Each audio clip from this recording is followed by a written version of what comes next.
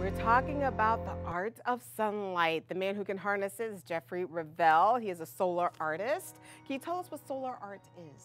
Uh, well, I use a magnifying glass and the sun. Um, we're inside though, but uh, yeah, the sun didn't come out for us today. I, I use like a small lens for mm -hmm. like detail burn around. Okay. This one, actually, I'm doing for a friend of mine, Bernice. Um, mm -hmm. her, she lost her dog a while back, and I'm, I'm burning that in. Her name's Lily, and uh, and then I use like a Fresnel lens, mm -hmm. and that will actually catch the background on fire, like a three-inch uh, flame on that. Okay. And I use uh, these welding go goggles uh, because it's really intense uh, light on there. So. So you definitely have to protect your eyes yeah, while you're doing Yeah, this. it's pretty bright. I know you're going to be at the Valley of the Flowers in Florissant. Are you uh, making any art on site? Um, I will probably be uh, Saturday. It's supposed to be sunny, so mm-hmm. um, yeah, I'll, I'll, bring some blank ones like this and uh, and be doing some demonstrations there.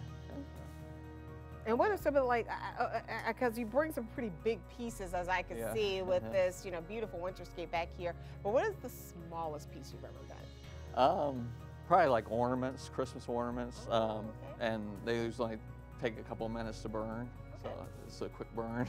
what made you want to do solar art instead of like painting or etchings or? Um, yeah, I've done like electric wood burning, and it usually takes longer than um, solar art. But you need the sun. You, I mean, with uh, electric wood burning, you can you know just you know plug it in, but um, um, it's a lot quicker. It usually takes um, like this piece here. It took mm-hmm. about 45 minutes to burn, and then to paint like an hour. So about an hour and 45 minutes to do the whole thing. So you just like the challenge of working with nature? Yeah, yeah, yeah, it's all natural. what do you paint these with? This um, is gorgeous. Uh, thanks. I, I use uh, acrylic paint on there, mm -hmm. and uh, and I'll, I'll, sketch it out first, and then burn it, and then uh, paint it last.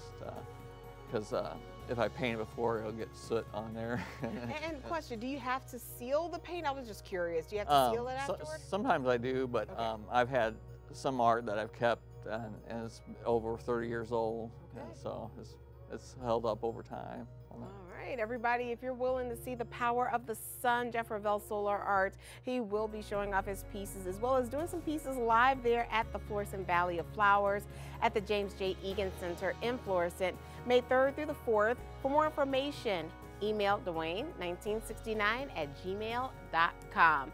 When the sun comes out, it'll be a masterpiece here on the 9 a.m. show.